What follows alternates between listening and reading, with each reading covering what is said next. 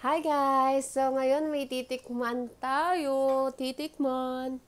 So ito yung Arla Garlic Fresh Cheese. Yun, mm, yung pinili ko yung garlic flavor. And titikman ko siya kung gusto ko pa rin siya. Kasi the last time na na-try ko to, way back high school pa ako. Eh ngayon, graduate na ako ng college. Kasi parang nagte-trending siya ulit. Eh matagal-tagal na din akong hindi nag tit nagsispread. And ito lang binili ko na crackers. Kasi ang konti ng laman ng Ritz.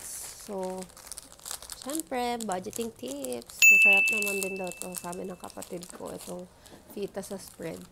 Usually kaysa spread, yung spread ginagamit ko sa toasted bread. Hindi sa mga crackers. Pero, kung masarap. ASMR. Oh my gosh. So, ayan. Yan yung itsura niya. Pangit ng pagka-open ko. Nala.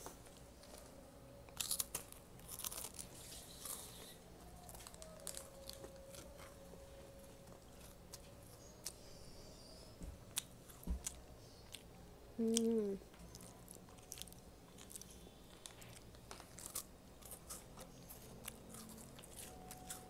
Damihan ko pa yung cheese.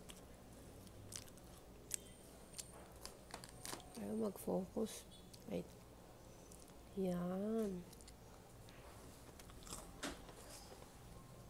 Mm. Okay siya. Hindi masyadong maalat. Creamy. Tapos may pagka-konting sour. Pero hindi ko masyadong malasan yung pagka-garlic, which is okay lang naman. Ayun, okay siya. For me, it's 4 out of 5.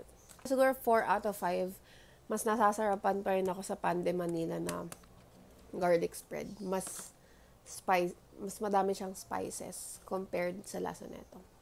So, yun lang. Thank you.